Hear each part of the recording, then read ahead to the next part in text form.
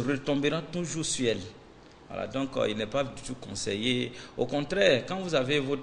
Cherchez toujours à créer l'harmonie, hein, même si ça ne va pas. Voilà. Oui, donc, on, revient aux, enfants eux-mêmes qui souffrent. J'ai eu l'occasion euh, de discuter avec des, même des cadres, des gens qui sont bien placés dans la, situation, euh, dans la société, qui sont en situation de souffrance, parce qu'ils n'ont pas l'occasion euh, d'avoir cette affection maternelle ou d'exprimer leur amour à leur mère. qui a l'occasion, je connais quelqu'un qui m'a appelé une fois, qui à chaque fois que la fête des mères arrive, est en pleure simplement parce qu'elle ne sait à qui aller dire bonne fête maman. Euh, à cause du fait que très jeune ou enfant, elle a été abandonnée, elle n'a pas bénéficié euh, de l'affection maternelle et chaque, chaque fête des mères est une occasion de rappel de souffrance et de pleurs. Et pour, pour ça, ce sont des gens qu'on voit dans la société et, qu'on aime bien qu'on envie, mais qui souffrent du fait d'être éloignés euh, de, leur maman. Donc la maman souffre, mais les enfants souffrent. Pas plus tard qu'après l'émission, j'ai eu un appel, quelqu'un qui me dit, c'est un problème pour moi de voir que ma mère et moi, on ne s'entend pas.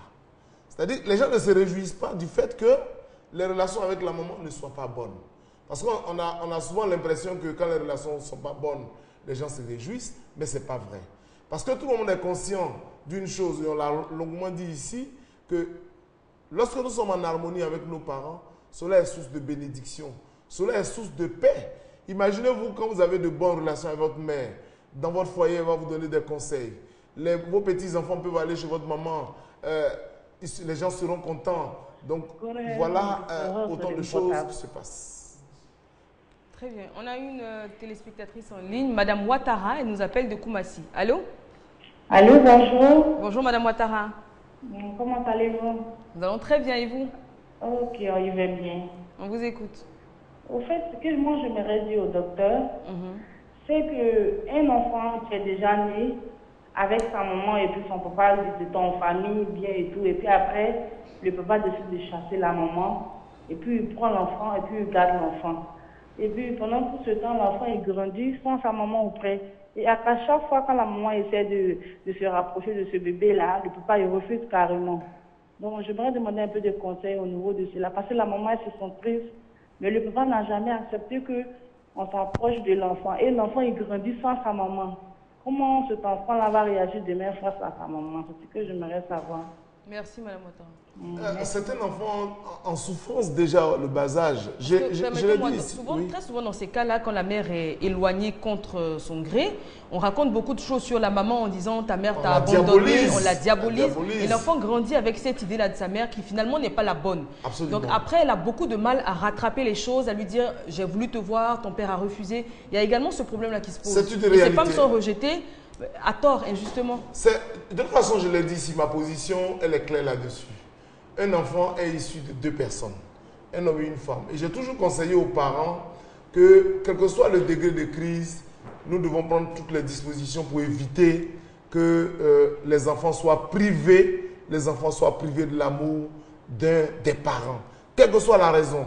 Il faut créer les conditions nécessaires de discussion, se faire aider par des professionnels ou par des gens qui ont une certaine maturité de la vie pour que cet enfant-là puisse bénéficier en même temps de l'affection maternelle que de l'affection paternelle. Parce qu'un enfant, pour qu'il soit stable, a besoin de, la figure d'autorité de la mère, de la figure d'autorité du père. Et je pense que c'est faire du mal à un enfant que de lui priver de l'amour de sa mère, de lui priver de l'amour de son père, parce que dans les deux cas, ça peut se passer. Et je voudrais interpeller encore une fois de plus euh, les parents que quels que soient les motifs, il faut prendre toutes les mesures nécessaires pour que ces enfants-là puissent avoir l'opportunité de fréquenter leur mère. Ils découvriront eux-mêmes si la maman est mauvaise.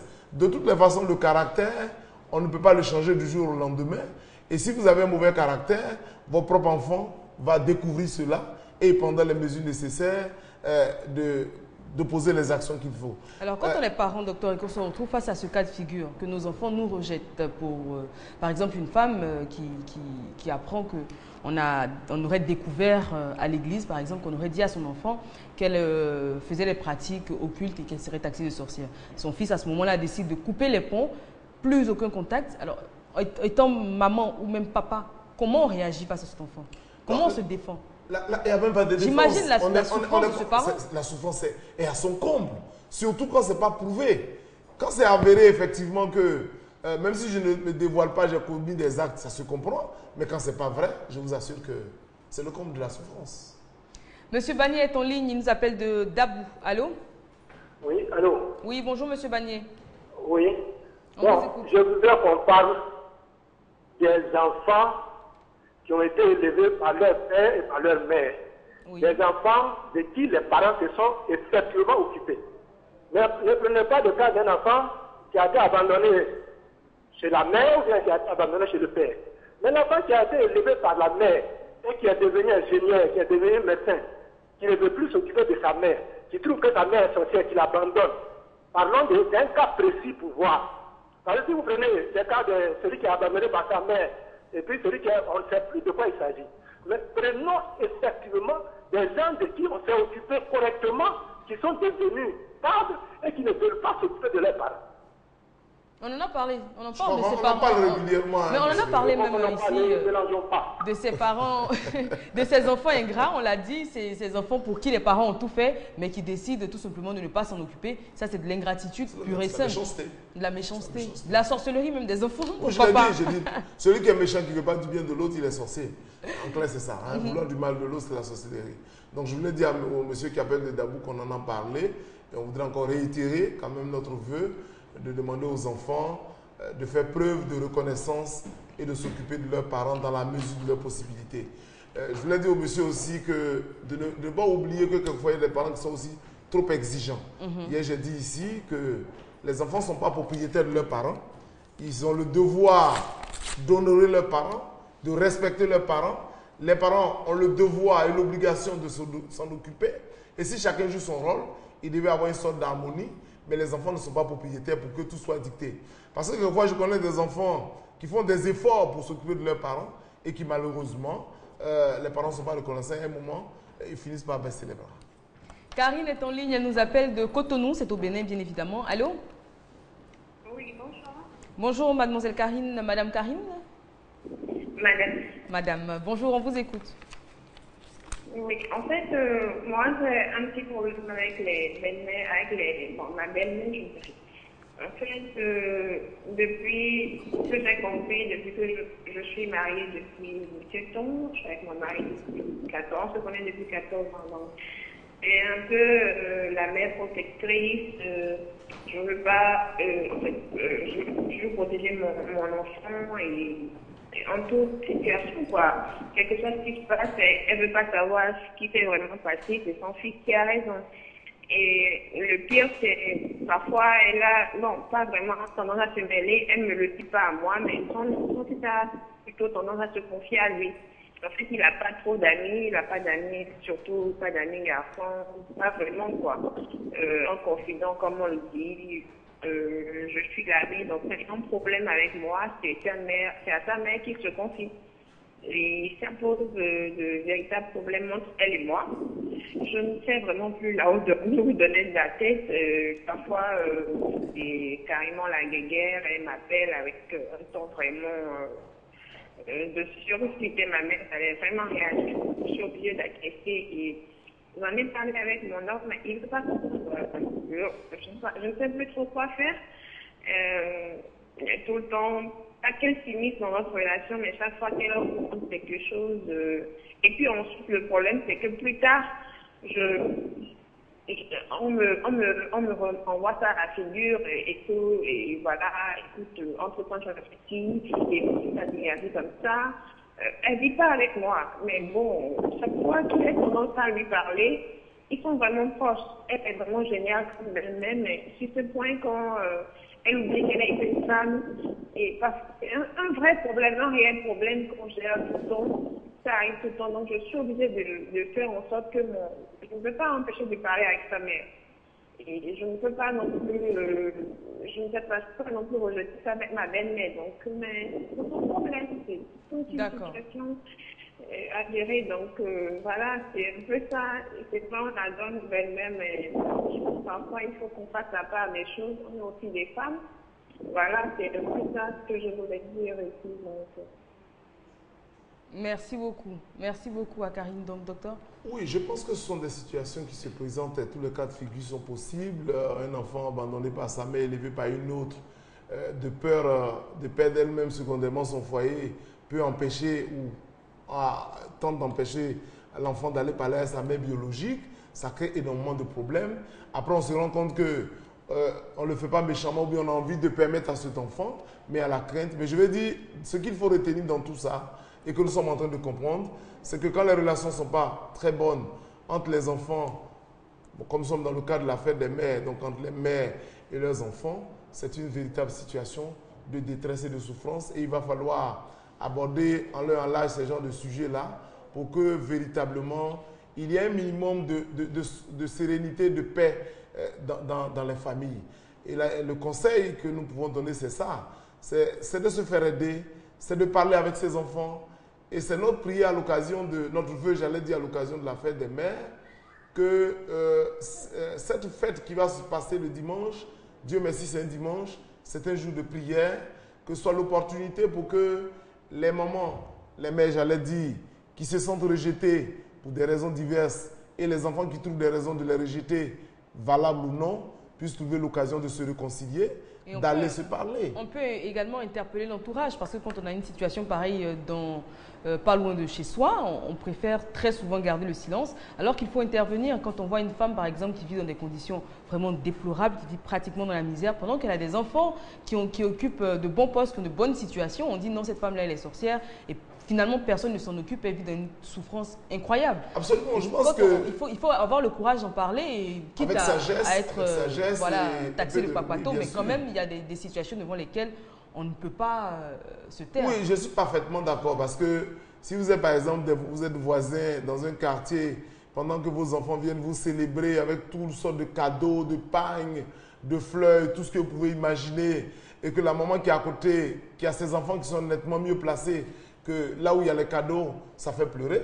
Il serait bien quand même euh, de pouvoir interpeller les enfants de cette dernière-là et de les encourager, et comme maman l'a dit, malgré les difficultés, à faire en sorte que euh, des solutions euh, soient trouvées. Parce que je dis encore une fois de plus, quand vous vivez dans une famille et que vous êtes en paix avec votre mère, c'est vraiment source de bénédiction incalculable, c'est spirituel.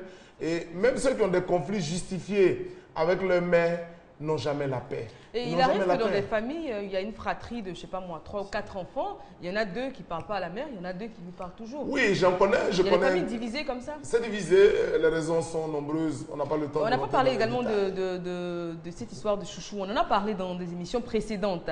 Mais ça peut être une, une raison également. Quand il y a un chouchou dans la famille et qu'il y a un autre qui est un peu laissé pour compte, il peut se, se sentir à juste titre lésé.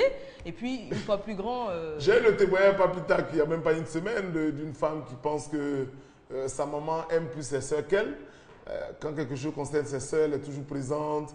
Quand c'est leur mariage, quand c'est leur enfant, euh, cette maman, la grand-mère est toujours présente, mais quand c'est elle, on a toujours quelque chose à reprocher.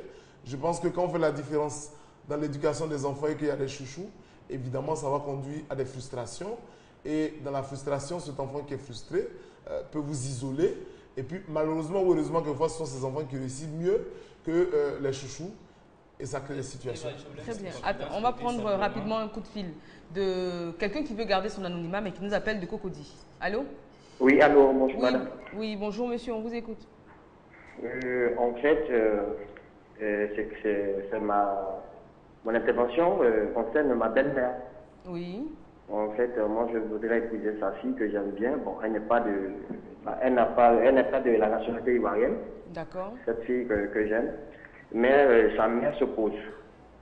Et donc, elle a comme argument, je ne suis pas de la même nationalité que sa fille. Et donc, euh, voilà, je, ne dois pas épouser sa fille. Mhm.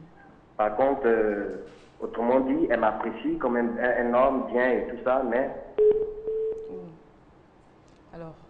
On va prendre euh, d'abord la. Que... Je, voulais simplement dire que euh, j'ai reçu quatre, quatre, personnes comme ça qui sont venues me voir un jour pour me dire simplement que leur maman est sorcière. J'ai dit, mais est-ce que vous avez les preuves?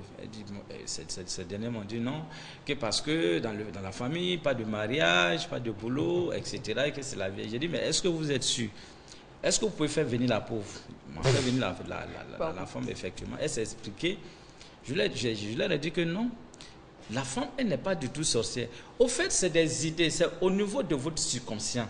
Tout ce que vous mettez dans votre ça fait un blocage. Mm. Mais je vous assure, à partir d'aujourd'hui, simplement envoyez des messages d'amour à votre, à votre maman et vous verrez, je vous donne trois jours, vous allez voir que la situation va changer. Effectivement, voilà justement.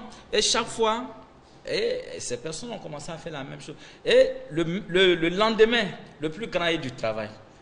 Le jour suivant, la, fille en question, elle a eu quelqu'un, en tout cas, quelqu'un de bien posé. Vous voyez, tout est rentré en C'est pour dire qu'eux-mêmes, à leur propre niveau, ils se sont fait des nœuds croyant que la femme avait des problèmes. En temps, il n'y avait pas de problème. C'est dit que simplement avec on va prendre un appel encore. Euh, mademoiselle Christine nous appelle de Koumassi. Allô? Oui, allô? Oui, bonjour mademoiselle Christine. Bonjour madame. On vous écoute.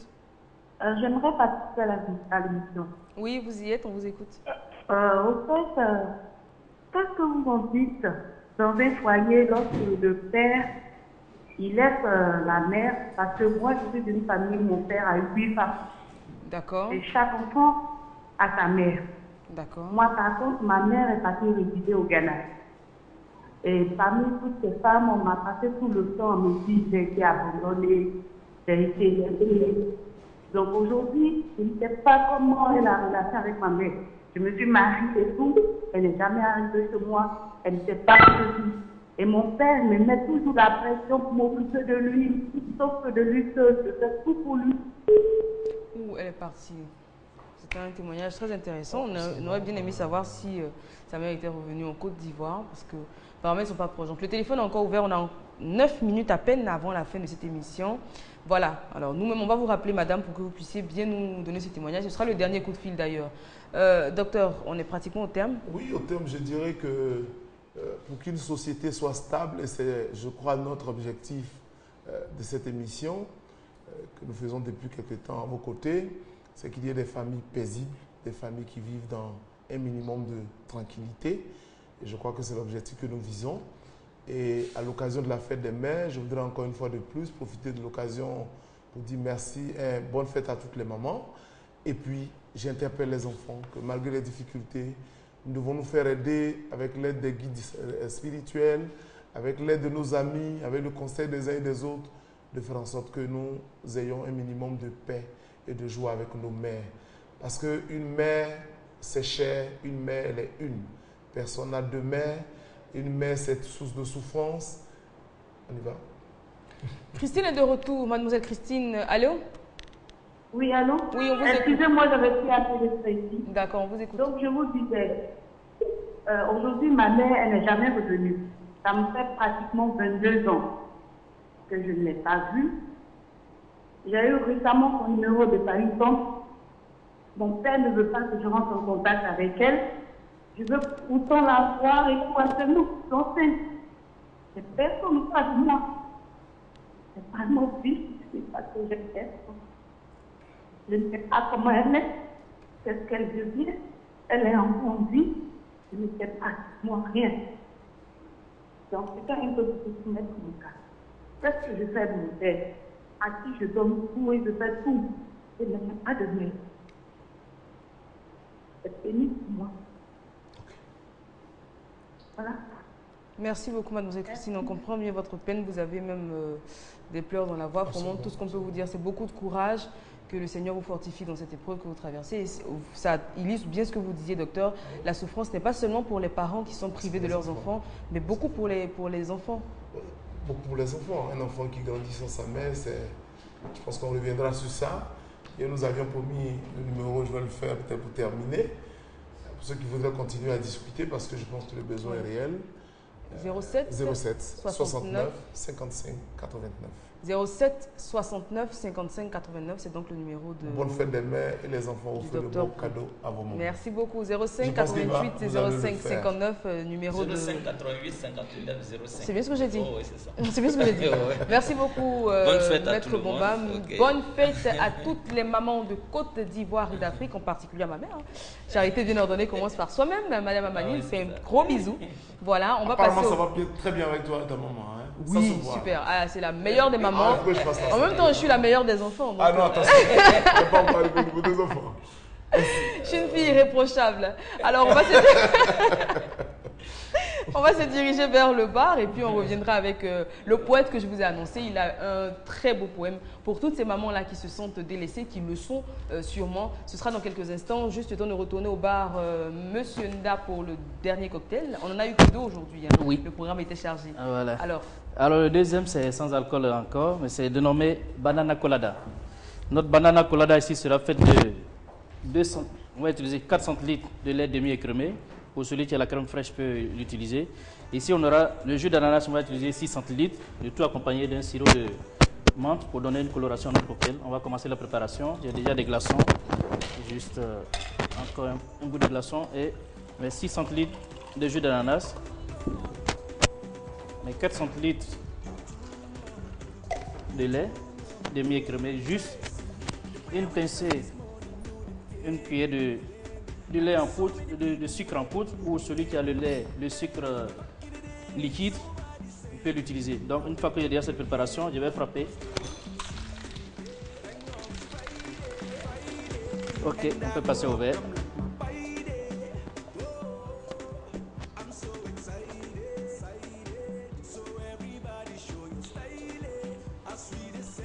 Ah, ces fameux, ces fameux verres que j'aime particulièrement, je pense qu'on va les mettre de profil comme ça. Voilà, vous verrez mieux la sophistication de, de ces verres. C'est très agréable quand on voit dedans. C'est spécial, maman. Ok, donc notre cocktail banana colada, voilà, servi. On va juste ajouter nos pailles pour déguster. Et encore une fois, bonne fête à toutes les mamans à ma maman et à toutes les mamans d'ici et d'ailleurs. Très bien. Merci. Monsieur Nda. Composition de ce cocktail euh, Patricia Yeo, Banana Colada, c'est donc son nom, fait de jus d'ananas, de lait demi-écrémé, de sucre de canne, de banane et de sirop de menthe. C'est bien, bien, ça. Merci beaucoup. Le poète a installé le titre, d'abord on va le présenter bien évidemment, Monsieur Jean-Claude Lagobo. Lagobo c'est bien ça, je craignais de me tromper, c'est pour ça que je vais laisser le dire. Monsieur Jean-Claude Lagobo qui a un magnifique poème qu'on va écouter tout de suite. On est tout oui. Amour de mère trop tard. J'ai dédaigné ma mère, car à mes yeux elle n'était guère belle. J'ai boudé ma mère par simple caprice enfantin. J'ai haï ma mère, ma pauvre mère. Pourquoi était-elle pauvre? J'ai rejeté ma mère et souhaité celle de l'autre.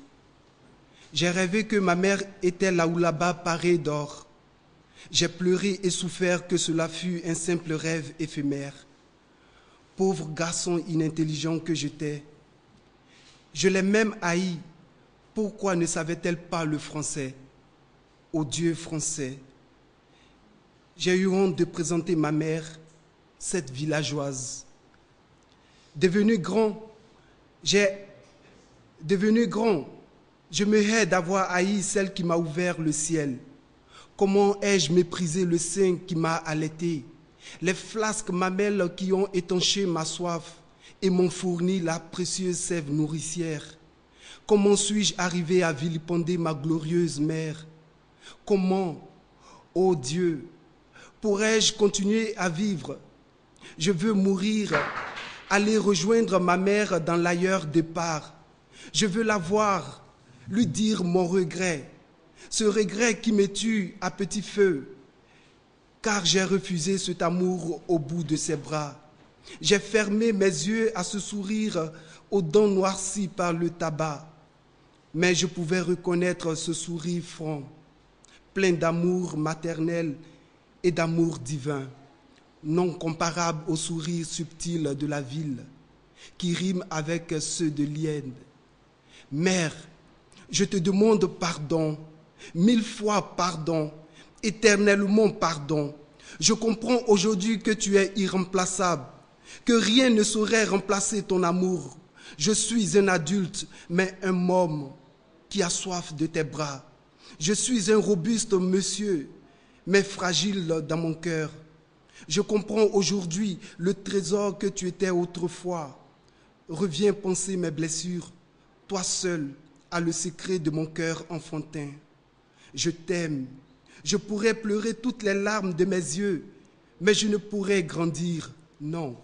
Alors, je voudrais te dire ce que je ne t'ai pas dit. Pour ta beauté, tu es ma mère. Pour mes caprices d'enfant difficiles, tu restes ma mère. Pour ta pauvreté et de ce que tu n'es pas là ou là-bas paré d'or, tu demeures ma mère parée de mon amour. Et pour le français que tu ignorais, tu es à jamais ma glorieuse maman, pour qui j'écris le français. Je t'aime, maman. Je t'aime sincèrement de tout mon cœur. D'après Jean-Claude Lagobo, sois le meilleur de toi. Merci beaucoup, Monsieur Lagobo. Merci, très beau poème donc pour toutes les mamans d'Afrique, toutes les mamans de Côte d'Ivoire, toutes les mamans qui regardent RTI 2.